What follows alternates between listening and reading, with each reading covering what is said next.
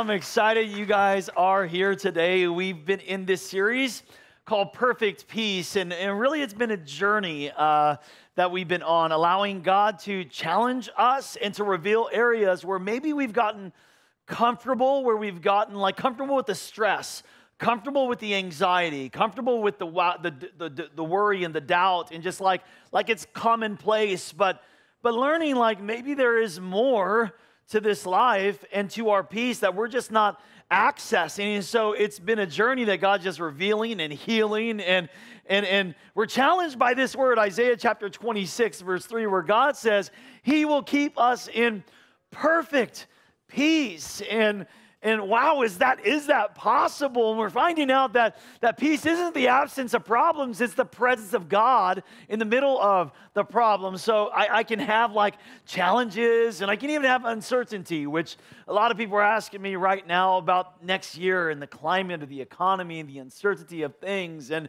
and if you look to those things and you look to economy, or if you look to resources, if you look to people, all those things change, but God never changes.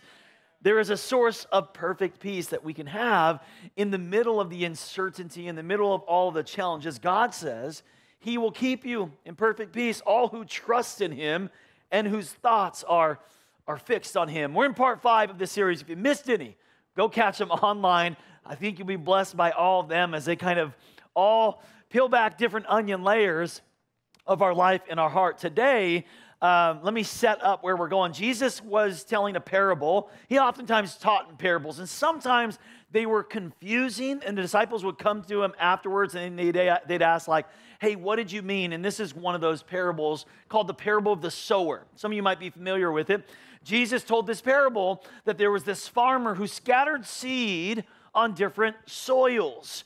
And the meaning of the parable was actually the farmer was God, and the seeds were the word of God, and the soils were the different heart conditions that were receiving the word of God. And Jesus tells them that this parable that God actually sows his word out, and some of the soils and some of the seed, the word of God, it lands on on hard soil. So some people have a hard heart and they can't receive the word of God, the promises of God. It just doesn't penetrate their heart. And then he says, well, some of the seeds, some of the word lands on rocky soil because some people have competing things all in their heart, just like crowding out the room. There's just no room for God in their heart. So the word doesn't bear the fruit it's intended to in their life. And then there was another seed that he said had weeds in it and uh, that the seed of the word actually landed in the soil and it grew, but it only grew for a short while because these weeds that were in the garden choked out the word of God.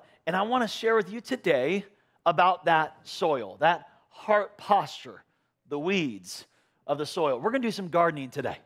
I think every single one of us, every single one of us, myself included, hey, we got some weeds, okay?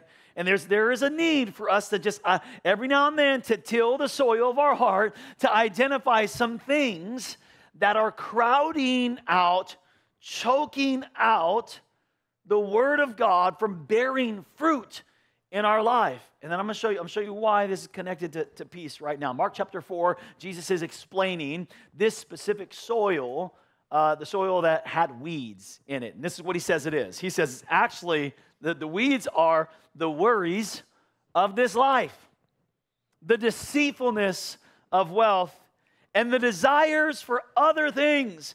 That's what's actually coming in and choking out the word from your life, making it unfruitful. Okay, so that word worry in that scripture, some of your Bible translation translates that word cares of this world, of this this life. I looked up that word. Your New Testament is written in Greek. So that Greek word is actually two. It's two Greek words combined together. And here's what it means. Check this out. The first word is divided, and the second word is mind or heart, or heart. That we have this divided heart and mind that, that like sometimes I believe God, but sometimes I don't. I kind of like I, I want this, but I also want that. And we got this divided. So there's this, I was reading this story of this, this guy who actually lost his arm in this accident and, and he didn't let it limit him. It's a really cool story that he kind of just continued to do adventures and exercises and stuff like that just to kind of push himself and challenge himself. He took up wall ball. How many of y'all ever play wall ball? Anyone ever take up wall ball? That's a hard, like you get tired on, you're hitting the racket, the little ball, like with, with your hand instead of a racket. This guy with one arm joins this, like, it's like he starts to do it like, professionally, or maybe not professionally, but semi professionally against others where they have tournaments and stuff like that. And he becomes the best in the state. And, and so they interview him. They're like, How, what do you attribute this? How are you, who seemingly are at a disadvantage, how are you beating people who have both the extremities and you have the one? He goes, It's easy. When the ball comes off the wall, all my opponents have to decide Am I going to use my right hand or my left? And he said, before, before the ball's coming at me, I already know what hand I'm going to use.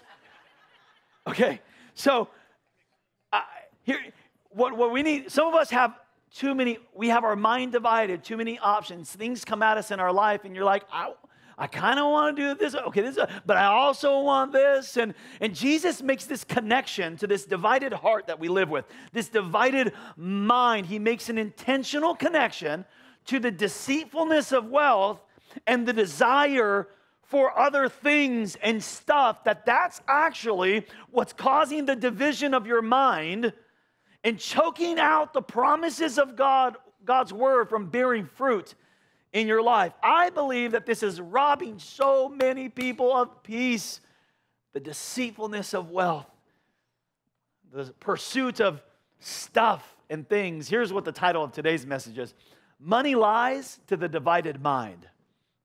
Money lies to the divided mind. You all know that financial tension and strain is the number one cause still of divorce today. That at least that is the excuse. The biggest thing that Washington, D.C. is arguing about, like right now. What are they arguing about? They're always arguing about money, right? What do we do with it? Who's going to get it? How are we going to spend it?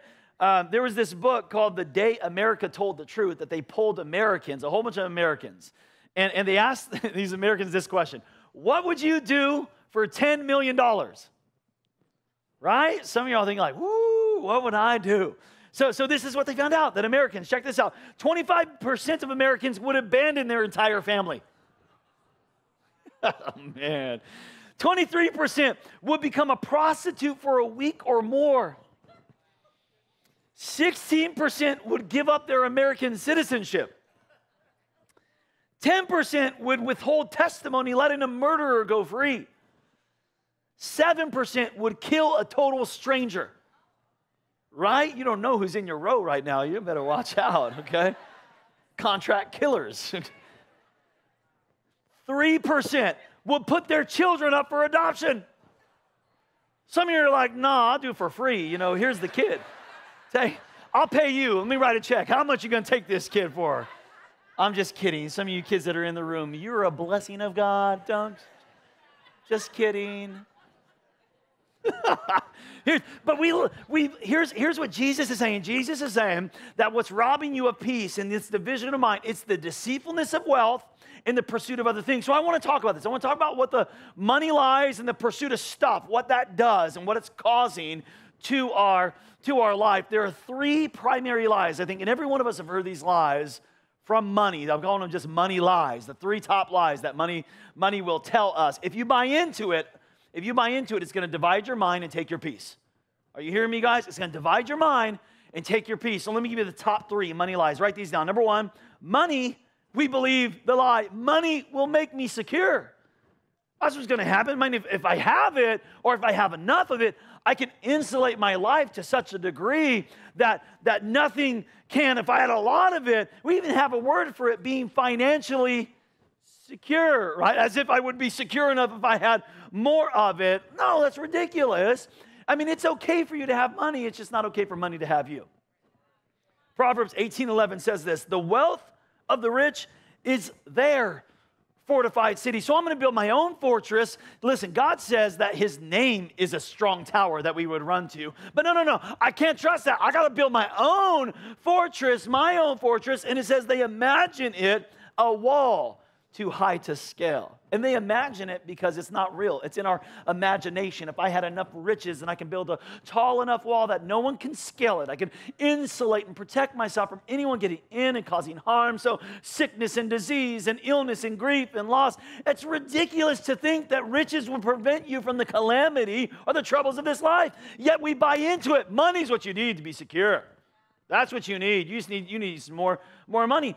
The CEO of Apple, the late CEO, uh, uh, Steve Jobs, he was towards the end of his life because he died. He died way too young, you guys. But the end of his life, he was actually recorded saying, "I wish I would have done it differently." That I actually put my hope in, in money, thinking it could save me. But if I would do it, I would do it over. I would put my hope in something other than money. It, it does not create security. Hebrews 13 says this: Keep your lives free from not just money, but from the love of money and be content with what you have because God has said, Let me be your fortress. Never will I leave you, never will I forsake you. So we can say with confidence, The Lord is my helper. My employer is not my helper. This government is not my helper. My help comes from God. I will not be afraid. What can mere mortals do to me? If God be for me, who can be against me? Money will lie to you. The second lie money will tell you is that money will make you feel more significant. Like, like, like we wrap our identity into our possessions and our cars and our stuff, man. We think like if I just drive, if I had the right car, people would treat me differently. They respect me. If I drove, if I had the right house, or if I if I put if I had the right clothes, man, people would treat me. That I, I get the respect. So so we try to let things define us.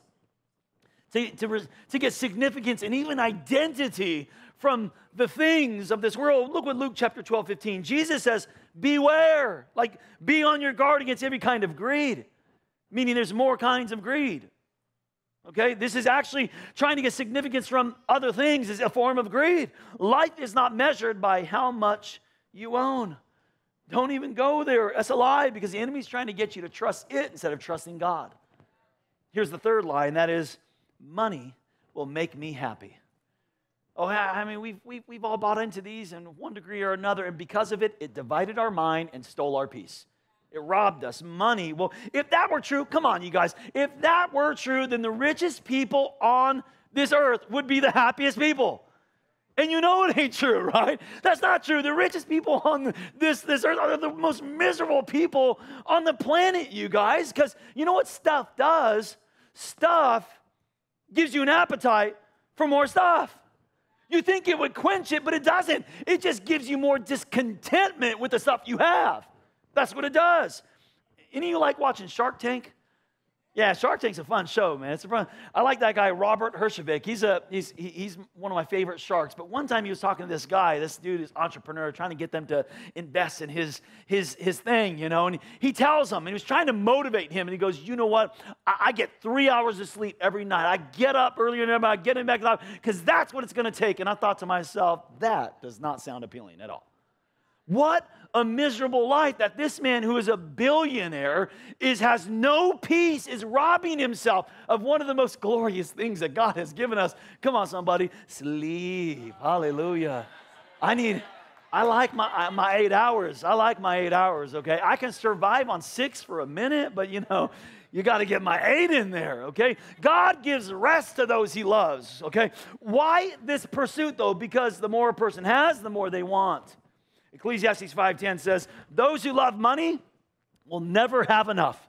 How absurd to think that wealth can actually bring you true happiness. That's not going to, you know, it's not happen. It doesn't happen for them. It ain't going to happen for you. Again, God's not saying you can't have it, just don't let it have you. Okay, you really want to be happy? Look at Romans chapter 4. Happy are those, happy are they whose sins are forgiven, whose wrongs are pardoned. Happy is the person whom the Lord does not consider guilty. Aren't you glad you're free today? Someone give God some praise for the freedom they have in Christ. Ecclesiastes 6 and 9 tells us it's better to be satisfied with what you have rather than always wanting something else. This is the law of contentment right here that we're talking about. And I just want to quickly show you what the Bible says the effects are of always wanting more. Because here's how he says what's dividing your mind is the deceitfulness of wealth and, and always wanting more, the desire for other things and stuff. And these things, you buy into it, it'll divide your mind and rob your peace. So let me show you there's five things that the Bible says. All these scriptures come from Ecclesiastes and Proverbs, the wisdom literature, five things that are going to happen if you buy into this like oh, I just need more. The effect of always wanting more. Here it is. Number one is you're going to get more fatigue. You're going to be more tired. You're always wanting more. You're always working harder. You're always need to get it earlier, get, get ahead. Being tired all the time is a symptom of doing too much and trying to do too much. That race, that drive for more and more, it drives you to overwork. There was a story or a, a poem written by Tolstoy 100 years ago. He tells this story of this peasant who was working for this master, and the master tells him, I'll give you as much land as you can walk on for one whole day. This day, this day, whatever your feet step on the land, I give you the land. And so this guy gets to running. He's like, ah, he's ah, running all over the land, man. He's a big, and so he runs all day, all night, and to the end of the day, he dies of exhaustion which is it's it, the story is meaning to connect like how we as humans are so like so striving for more and more and, and more. And i think there's so many of us so many of us are like on the inside we're dying of exhaustion. We're just trying to get more and more and more. And the first thing you're going to get if you buy into this lie of, of just the desire of more things you're going to get more exhaustion. Proverbs 23 and 4 says do not wear yourself out to get rich. Have the wisdom to show restraint. So he's saying this is hey, it's dumb, it's foolish to wear yourself out trying to get more things. Like, because even if you win the rat race, you're still a rat. Not only does wanting more bring fatigue, it also brings, write this down, more expenses. I don't know if you realize that, but having more always costs more. It does, okay? I always like to say, like, if the grass is greener on the other side, it's because the water bill is, okay? It cost some money to, it, took, it took some cost to get that green grass. It looks good, but it costs something. Ecclesiastes 5.11, it says, the more you have, the more people come to help you spend it. Isn't that true? The more money you have, all of a sudden, now I need an accountant you know, now I need a now I need a, a housekeeper because I gotta gotta work harder to keep this stuff. You know, gotta get the my gardeners and my someone to mow my lawn. The more money you have, the more the more money you spend. The more money you have, the more people you have to spend it. So he says this. So what is the advantage of wealth? Except perhaps to watch it run through your fingers. I saw a bumper sticker that said, "I used to dream of the salary I'm now starving on." Right? That ain't even funny. That's like a reality for so many people. Like you've been desiring so long this final position this final promotion, this final salary, and you get there, and after time, you're like, you thought that would make ends meet. You're like, if I could just get there. And then you get to the place where you make the ends meet just to find out someone moved the end. You're like, what? What happened here? You know? And you're like, well, I'm just trying to keep up with the Joneses. Stop it. The Joneses are filed for bankruptcy, okay? The Joneses got a divorce. stop, stop trying to follow the Joneses. Follow godly principles. That's what produces life, and that's what produces blessing. That's what produces peace. The, of we, we think we think that this pro, the real problem, you guys here, we think the problem is we're not making enough. The real problem is we want too much. That's that's the real problem. So it brings more frustration, more fatigue, more expenses. Write this down. It also produces more anxiety more anxiety. The more you have, the more you have to worry about it, right? If you don't have it, you ain't going to worry about it. Like, can I be honest with you? I don't worry at all about, about barnacles getting on my yacht. You know why? I don't have a yacht. That's why. Okay? So what you don't have, you don't worry. But when you have it, man, now you're worried about it because now what you got to do, now I got to maintain it, now I got to protect it, now I got to insure it, now I got to, you know, clean it, now I got to, and I just got all this worries. Uh, I got to pay taxes on it. And so we have so many things that, that we can't even keep all of our things in our house anymore. We rent more space to put our things in right? Your storage units that you guys, man, you ain't visiting and grabbing that stuff for years. What sense does this make to get more stuff just to put it away with the other stuff? But it was good. Yeah, I get it, but it wasn't good for long, right? Ecclesiastes 5:12 says, "A working man can get a good night's sleep, but the rich man has so much that he stays awake worrying." What's he worrying about? how do I how do I save it? How do I maintain it? How do I keep it? How do I defer my taxes on it? How do I how do I how do I read a study once that said that, that there's a connection between insomnia. Like insomnia increases when your income increases. Isn't that crazy? That like the more you make, the more sleepless nights you probably gonna have. Why is that? Because you got more to worry about. Okay, so check this out. If you got more fatigue, more expenses, more anxiety, you know what that equals? Write this down more conflict. That's what's happening. You're, you're going to have more conflict in your home because of these things. Because when you're, when you're tired and when you got more expenses and you're more anxious, you're going to have more fights. You're going to have more conflict. It causes more turmoil in your family. In fact, some of you grew up in homes where this was present the deceitfulness and wealth and the desire for more stuff. Like it caused so much tension and argument in the home you grew up in but you didn't even you didn't think that was a problem. Still probably even now and i'm praying revelation that you would identify the problem was actually that maybe in your own home. You, the problem that you think is the problem ain't even the problem. The problem is you got a divided mind. You're deceived by wealth and you desire other things are you guys hearing me are you receiving this you guys today more conflict a greedy man brings trouble to his family, Proverbs 15 27 says. We know that the, the studies continue to say the number one cause of divorce is financial tension. Every study shows that. It's no longer till death do us part, it's till debt do us part.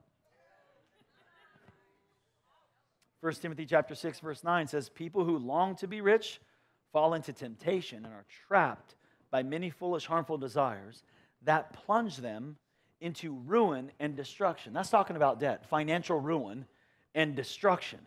People who are discontented are always looking for ways to make a fast buck. They're always falling for like quick, quick rich, you know, get rich quick schemes. If it's too good to be true, it probably is, okay? Contented people don't fall for the, they don't, they don't, they're not lured by the lottery. Don't elbow them right now, okay? That's later. You talk about that. Because you're, you're contented. Okay, here's, let me give you the last one. That this pursuit of more, this pursuit of more is going to cause not only is robbing your peace, dividing your mind, more dissatisfaction. Okay, we think having more is going to make us more happy, but like I said, having more is, we think it's going to make me more secure, more important, make me more loved, and none of that is true. But let me kind of, I'll concede a little bit here because I know what some of you are thinking. Some of you are like, yeah, but a million dollars would kind of make me happy, Pastor. I'm just saying. I'm just saying. So let me kind of let me just kind of concede with you and, and, and agree that money can buy temporary happiness. Absolutely, I, I agree with that. It, it's it, but it's you have to realize that it is always money can only buy temporary happiness. Yes, you can go get that car. If you had all that money, you get that car you want it, you could. And, and what, what's going to happen? You're going to get in that car. You're going to feel good. You get in the car, new car smell and stuff. You love that smell, right? How long does that new car smell last? Two weeks. That's how long. Unless you're like me and you get new car smell every time you wash your car. No, I'm just kidding. Like, even then, the chemical, like, that ain't the same new car smell. You smell a little bit of chemical in that thing, okay?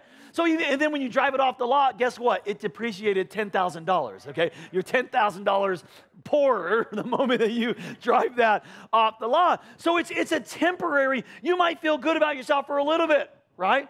Well, I don't know. How long did you like that truck? One, two, three years until you're going, honey, look at that truck. You see the new trucks they got now? They make those those those electronic ones that just they got more power, more gas, honey. You know what? Yeah, it's always it's always temporary. It'll buy temporary. Ecclesiastes 5 and 10. Here's another translation. It says, If you love money, you will never be satisfied. If you long to be rich, you will never get all you want. So he says it's useless. Somebody asked a wealthy man, How much does it take to make a man happy? You know what he said? Just a little bit more. It's like what Tom Brady said. You know what they asked Tom Brady? They said, Hey, which of your seven Super Bowl rings, what was, what's your favorite ring? Remember what he said? The next one. And now he's lost his family, lost his health. Why?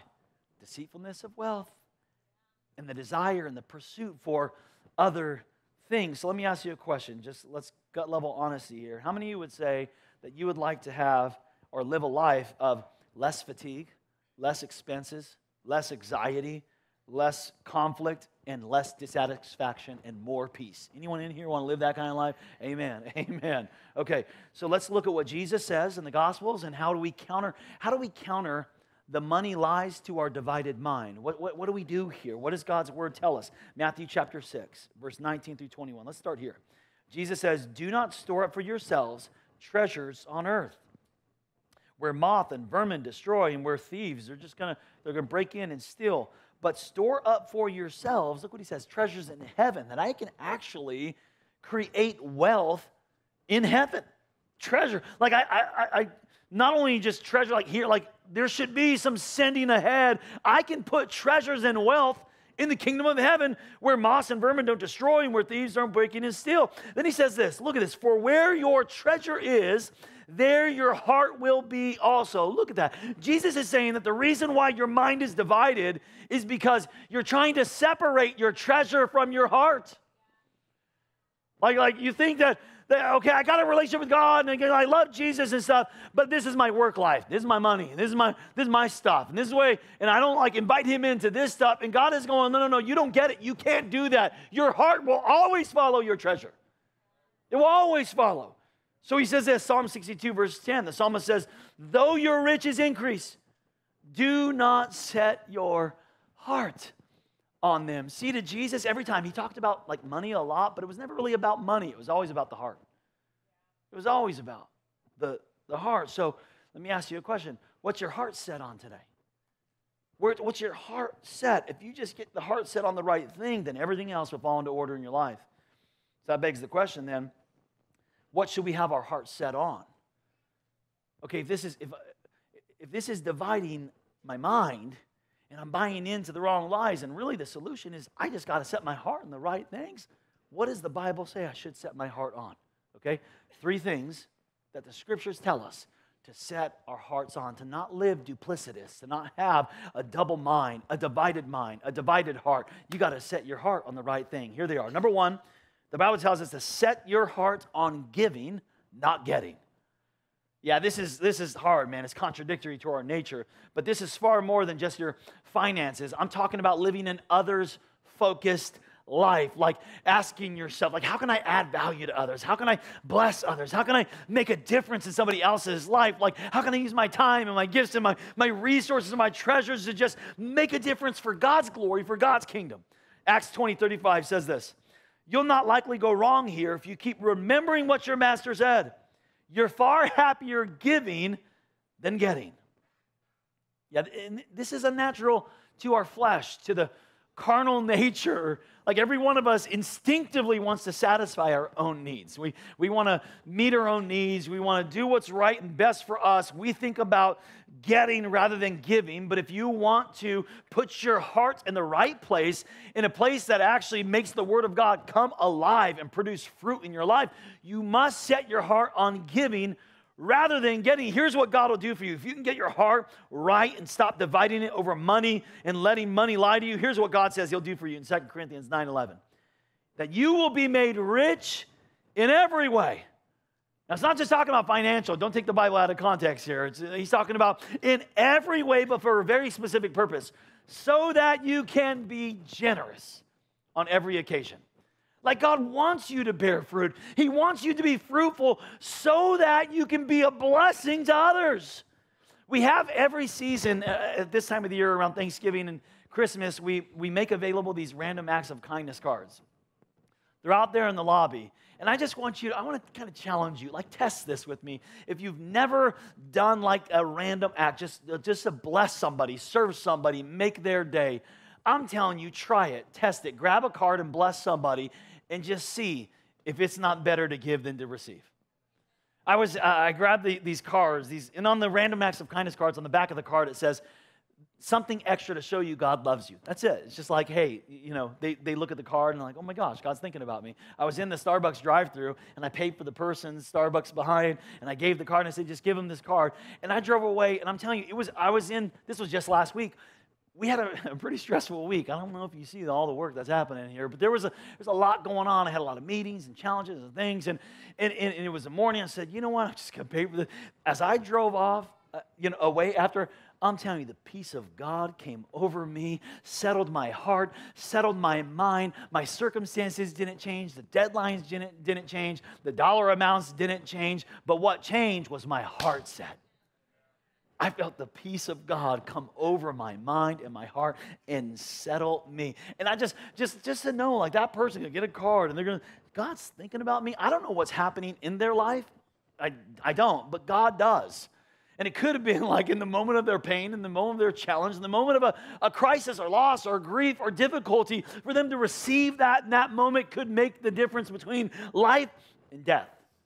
Okay, so, so where are we going to set our hearts if we don't, don't want to live with a divided mind and buy into the lies of, of money and things? Well, you got to set your heart on giving, not getting. Number two, set your heart on true riches. Set your heart on true riches. Now, true riches are anything that lasts forever. The things of this earth, they're not true riches. This isn't true riches. All this is temporary. Like all that stuff you're buying for people on Christmas, all those presents you're getting, all of it's going to either burn out or break eventually, okay? It's going to be obsolete eventually, okay? That stuff is not true riches. There are only two things that will last forever. You know what they are? The Word of God and people. Okay, people are the most valuable assets on this planet. The Word of God and people are the true riches that last forever. Here's what Jesus says in Luke 16. And let me kind of break this down. I'm going to sit here for a moment, verse 19, or verse 9 through 13, okay? I, and I have it in the New King James Version because it actually uses some words that other translations don't, and I'll show it to you. Look at what it says. He says, Jesus says, And I say to you, make friends for yourselves by unrighteous mammon. And, and he's, Jesus is going to use that word mammon three times in this, in just these few verses. Some translations actually translate that as money, but they could put a capital M on money because it is actually a person. Jesus is talking about the spirit that is on your money. Did you know there's a spirit on your money? Okay, money is not uh, like a um, just something that is like what is it separate from the things of god. It doesn't have money either has money money either has god's spirit on it because you're practicing god's principles with it or it has the spirit of the devil on it because you're not. The spirit of mammon. Money is it's not it's not indifferent. It's not like oh yeah those are just indifferent objects. No there's a spirit on money. Jesus is teaching us here that the, the spirit is called mammon okay? This unrighteous mammon. But some people like they, this verse is hard because it says, "Make friends for yourselves by this unrighteous resource, money, this spirit, unrighteous." And so some people like, well, "What does that mean? I'm supposed to make friends with money? Do I lord it over people? Do I leverage it to like make friends?" No, that's not what he's saying. What he's saying here is use the unrighteous wealth or resources of this world to bless people, to do good, to, to make a difference. And then he says this: that when you fail they, meaning those friends, those people you blessed and you made a difference, they may receive you into an everlasting home. Now, that word fail isn't a good translation in this one. It's the same Greek word for death. That's what it means. So here's what he's saying Make friends with your resources, bless them, make a difference in their life with the unrighteous wealth of this world. Use it to make a difference in people's lives so that when you die, those people that you bless will actually receive you in the kingdom of heaven and say, You bought me that Starbucks. You didn't know, but when you gave me that card, I gave my life to Jesus. You don't know the difference you made in my life when you stopped, when you prayed, when you blessed me. Those people are going to be the ones that receive you in your everlasting home. Now, look what he says He who is faithful in what is least is faithful also in much. And he who is unjust in what is least is also unjust in much. Therefore, if you have not been faithful in unrighteous mammon, the, the wealth of this world, the resources, who will commit to your trust the what? True riches. Now, what are true riches again? Remember, the Word of God and people. So Look what God is saying. This is what Jesus is making the connection again, you guys. He's saying what is choking out true riches, the reason why the Word of God is not producing fruit in your life is because you've got a divided mind. You bought into the lies of the deceitfulness of wealth and the pursuit of more stuff. And God wants to bless you with true riches, the Word of God in your life, but it's getting choked out by how you are handling unrighteous mammon. And God wants to bless you with the true riches of people, but those are the people that actually you love the most, that you hurt the most because you're buying into the lies of the enemy.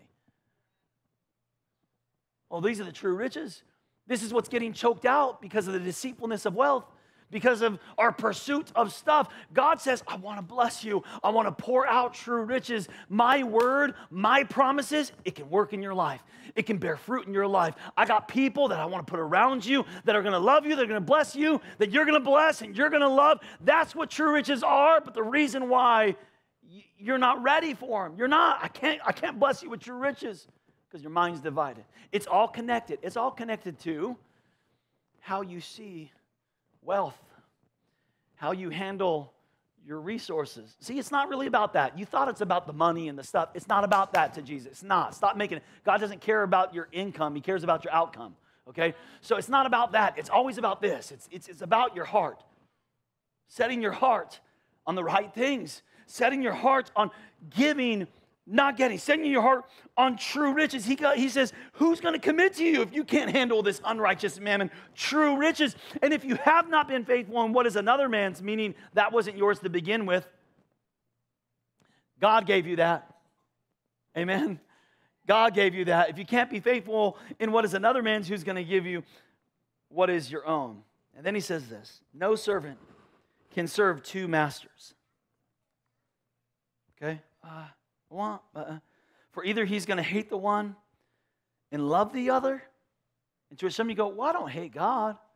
Well, I love God. I just have a hard time with this. You know, sometimes I, I, I want this, but I also want that. And sometimes I, I believe, and sometimes I, I don't. So Jesus kind of, he, he explains a little further. He goes, or else he will be loyal to one and despise the other. And, and so, so what you don't realize is, is what you're doing when, when you're when you're having a double mind and a divided heart that you're, you're being disloyal to God. You are despising or rejecting God by believing some. I'm put this part is I give it to God. This part, no, no, no, no. Maybe you and and this is the challenging part of the gospel. It really is because Jesus said, "Those who love me obey me."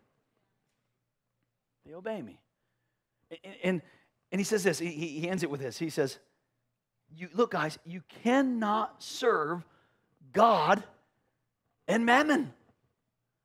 You, you cannot have it both ways. Some of you would do really well to chop off an arm. I'm just kidding, don't do it. But some of you would to not have the option to weigh it out, to be able to say, no matter what comes off the wall, I'm doing it God's way. No matter what comes off the wall, what bounces, if it's a promotion or if it's if it's this or if it's a relationship, no matter what's coming at me, I'm pre-deciding. I got one option. I'm doing it God's way. I'm, you know what happened? You know what happened? Peace. Perfect peace. You know what happened? The word of God would not be getting choked.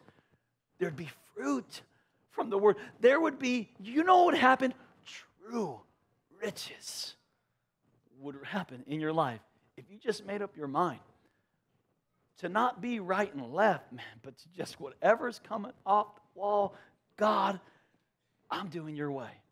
Y'all receiving this today, you guys? Are you with me? Okay. Okay, here's where do we set our heart?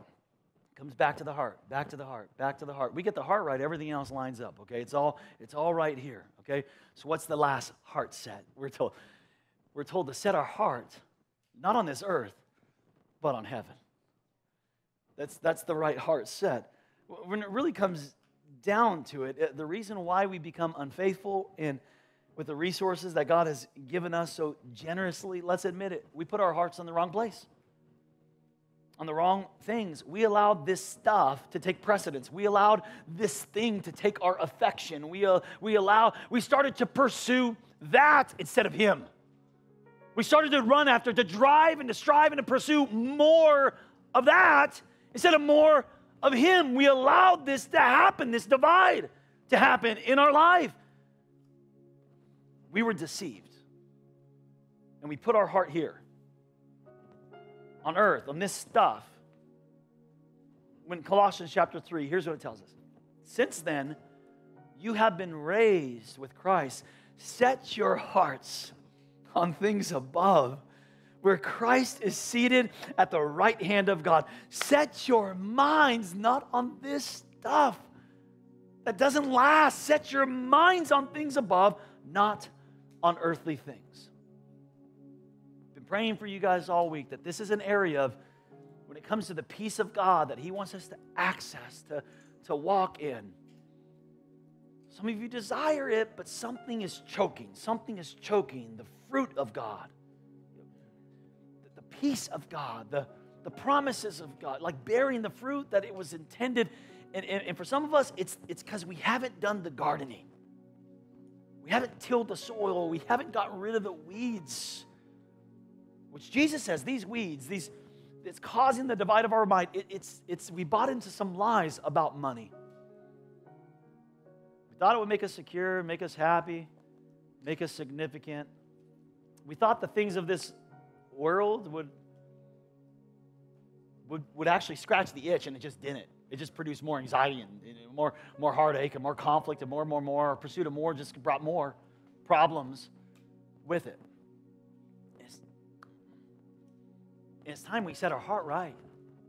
And some of you here today, and you just know the Holy Spirit's tugging on your heart, man. And there's there's some light that's being shined in different areas. I like to think of it like the Holy Spirit just is like a light. He just shines in areas that maybe we didn't we didn't know that were there. That's what His Word does. That's the Holy Spirit does. Just a light shines, and we go, "Oh, is that what that was? I've been misdiagnosing this thing. Thought it was that, but it's actually it's actually this. No, it's a heart set. That's what it is. You get your heart set on the right thing, and it falls into order.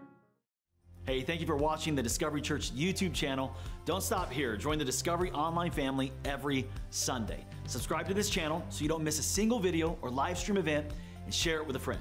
You can also support the ministry by clicking the Give button to help us continue to reach people around the world for Jesus Christ. Thank you again for watching.